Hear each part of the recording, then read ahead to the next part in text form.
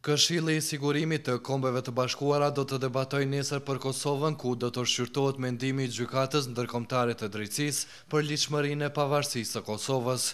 Mbajtja e kësaj seance është kërkuar nga Rusia që është kryesuese e radhës e Këshillit të Sigurimit. Në takim pritet të marrin pjesë ministrat e jashtëm të Kosovës dhe të Serbisë.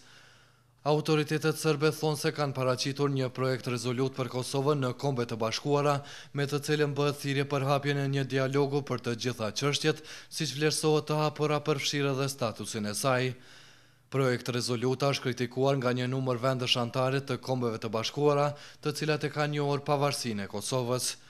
Ndërkohë autoritetet në Prishtinë thonë se janë të hapura për bisedime me Beogradin zyrtar, por kanë përjashtuar mundësinë e rihapjes së statusit të Kosovës. Kryeministri i Kosovës, Hashim Thaçi thotë se në mbledhje të Këshillit të Sigurimit do të vlerësohet dhe prezantohet progresi i arritur në Kosovë. Është mbledhja e parë e Këshillit të Sigurimit pas GJND-së, pra pas fitores historike të Kosovës. Ministri i Jashtëm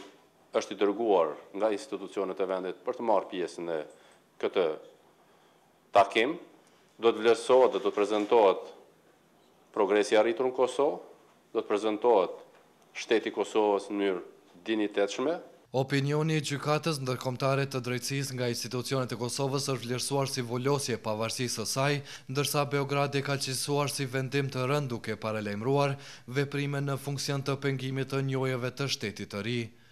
Kryeministri Thaçi thotë se opinioni i kësaj gjykate ka fuqizuar mbështetjen ndërkombëtare për Kosovën.